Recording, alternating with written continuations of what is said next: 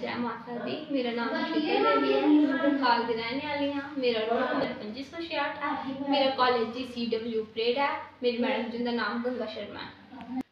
ਜਿਵੇਂ ਤੁਹਾਨੂੰ ਸਾਰਿਆਂ ਨੂੰ ਪਤਾ ਕਿ ਨਰਾਤੇ ਚਲਾ ਕਰਦੇ ਨੇ ਅੱਜ ਲਾਸਟ ਨਰਾਤਾ ਹੈ। ਅੱਠ ਨਰਾਤੇ ਤੇ ਨੌਵੀਂ ਪ੍ਰਵਾਨ ਹੁੰਦੀ ਹੈ। ਜਿਵੇਂ ਕਿ ਅੱਜ ਅਸੀਂ ਆਪਣੇ ਆਪਣੇ ਘਰੇ ਸਾਖ ਲਾਈ ਦੀ ਹਰ ਕੋਈ ਨੇ ਲਾਈ ਦੀ ਅੱਜ ਜਿਵੇਂ ਅਸੀਂ ਆਪਣੀ ਸਾਖ ਜਿਹੜੀ ਪ੍ਰਵਾਈ ਆਏ ਆ ਤੇ ਇਹਦੇ ਕੰਨਾਂ ਦਾ ਹੁਣ ਅਸ ਪੂਜਨੇ ਆ जिन्हें कि हूँ अस कंजक पूजा रहे हैं जिन्हें कि मैं कंजक जिन्या भी कंजक अस दे सकने इन देनी है जिन्हें कि मैं नौ कंजक एक बिच निका जहा काका भी है बैठा ले तो पूजन लगी हाँ सारे प्रसाद लगी हाँ